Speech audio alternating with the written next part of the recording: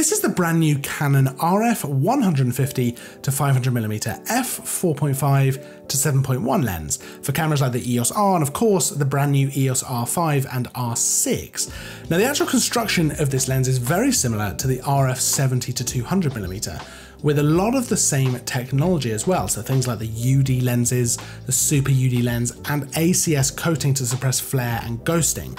Now that lens was fantastic. It's a really, really nice lens, and this seems to be shaping up in very much the same way. It is a pre-production lens, so we weren't able to take it out and about and really try it out properly, but certainly from having a little bit of time with it, it does seem to be very, very nice indeed. It's also the second lens in the Canon range to have two nano USM motors, along with, of course, the RF 70 to 200. And that makes the autofocus extremely fast and quiet as well. It's perfect for when you spot a bird in flight or a deer in the distance and you need to nail that shot. Now it sits very nicely on the front of a camera like the EOS R6 and in keeping with the weight reduction of the RF system, it's actually lighter than the EF 100 400mm, making it easier to shoot handheld even though it's got that extra reach as well. Now another thing that makes handheld shooting easier is the image stabilization. You've got dual sensing IS using the image sensors information and the gyros in the lens. And that means that using this with something like the new R5 gives you six stops of IS at 500 millimeters, which really, really helps with camera shake. So let's talk a little bit about image quality. Now this is an extremely versatile zoom lens. 100mm is actually really usable for all kinds of things. And being able to punch in all the way to 500mm is fantastic. It means you can certainly use this for sport or wildlife, but also a huge number of other things as well.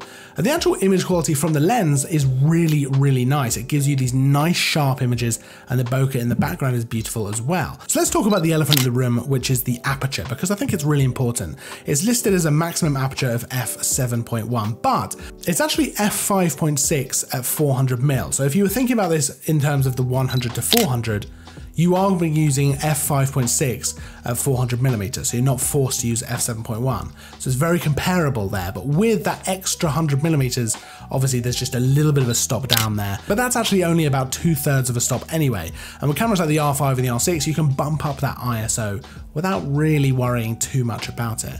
Now, one of the other factors we should talk about here is the price. This is not a cheap lens, but there are definitely reasons for that. So as I mentioned before, this is a well-constructed lens. You can feel that as soon as you pick it up.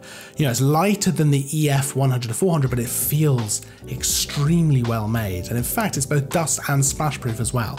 Now those nano USM motors inside the lens really help with the AF. It makes it so good. And when combined with the AF performance of something like the new R5 and the R6, this really is something special.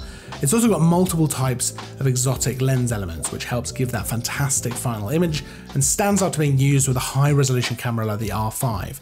Now on the image quality front, it doesn't suffer much at all from things like distortion or vignetting. So in short, yeah, it's not the cheapest lens out there, but this is a very versatile pro level lens capable of delivering top results. Now, if you have any questions about the lens at all, let us know down in the comments. Make sure to like and subscribe and all the fun stuff we tell you to do on YouTube. I'll see you in the next video. And as always, thanks for watching.